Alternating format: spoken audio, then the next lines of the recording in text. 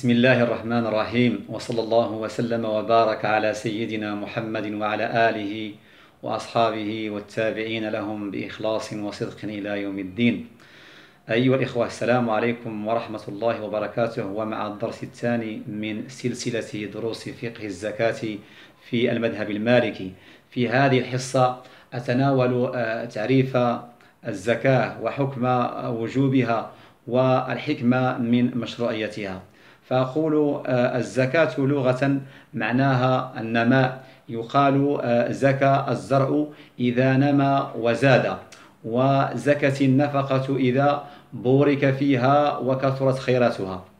والزكاة شرعا آه، أو في عرف الشرع هي الصدقة الصدقة الواجب إخراجها من المال. طبعا إذا بلغ هذا المال قدرا مخصوصا ومر عليه الحول.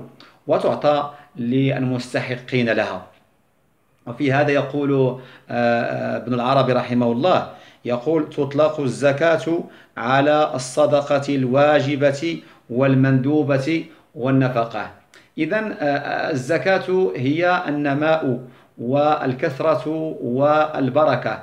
قال تعالى وما أنفقتم من شيء فهو يخلفه وهو خير الرازقين. فالذي يزكي ماله آه، تفتح له أبواب الرزق وتفتح له أبواب الخير ويحفظه الله سبحانه وتعالى من كل الآفات والمصائب ويكتب الله له ثوابها وأجرها عند الله سبحانه وتعالى.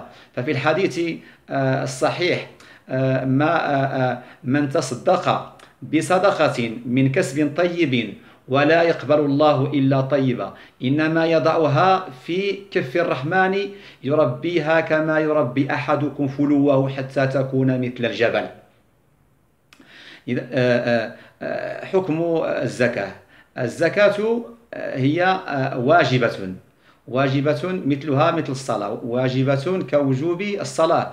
وقد قرنت معها في ست وعشرين موضعا في القرآن الكريم. قوله تعالى وأقيموا الصلاة وآتوا الزكاة آه، فإن تابوا وأقاموا الصلاة وآتوا الزكاة فإخوانكم في الدين. وهي أيضا آه، إحدى آه، أركان الإسلام الخمس. قال صلى الله عليه وسلم بني الإسلام على خمس. شهادة أن لا إله إلا الله وأن محمد رسول الله وإقام الصلاة وإيتاء الزكاة وصوم رمضان وحج بيت الله الحرام.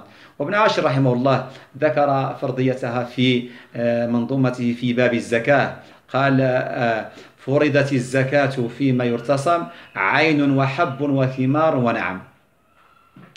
آه، وقد أجمع المسلمون على وجوب الزكاة.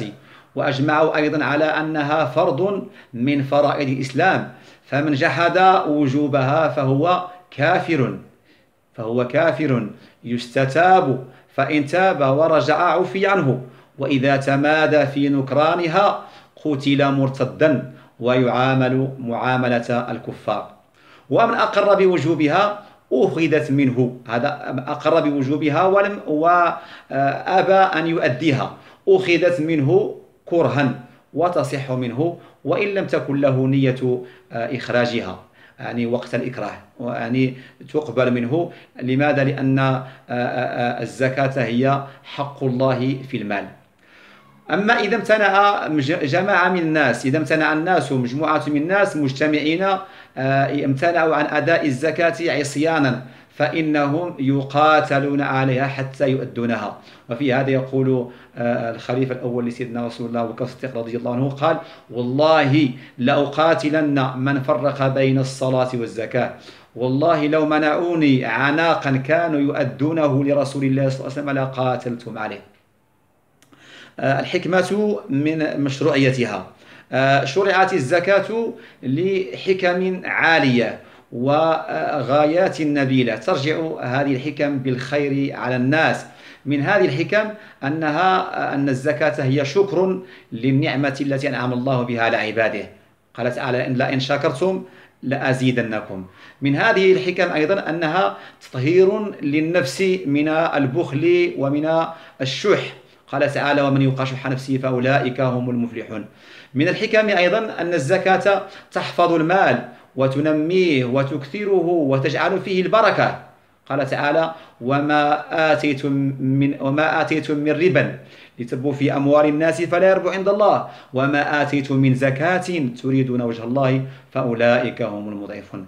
من الحكم أيضا من حكم الزكاة أنها آه، تنمي المجتمع بمعنى أنها آه، أن الزكاة هي تنمية اجتماعية تراعي أطياف المجتمع تراعي الفقير تراعي المسكين والضعيف تراعي الأصناف الثمانية المذكورة في قول الله تبارك وتعالى إنما الصدقات للفقراء والمساكين والعاملين عليها والمؤلفة قلوبهم وفي الرقاب والغارمين وفي سبيل الله وابن السبيل فريضة من الله والله عليم حكيم. إذا هذه هي آه هذا معنى تعريف آه الزكاة وحكمها والحكمة من مشروعيتها. نسأل الله تبارك وتعالى أن يتقبل منا أعمالنا وأن يجعلها خالصة لله. أقول قولي هذا وأستغفر الله ولكم.